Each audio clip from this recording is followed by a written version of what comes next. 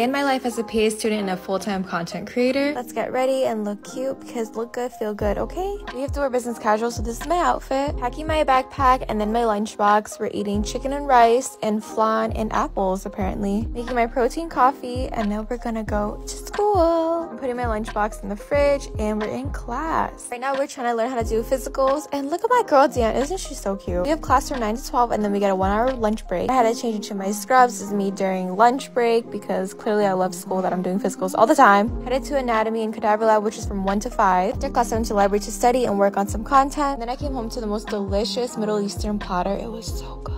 I studied for a bit and then I needed a break so I went to Target and that was my day.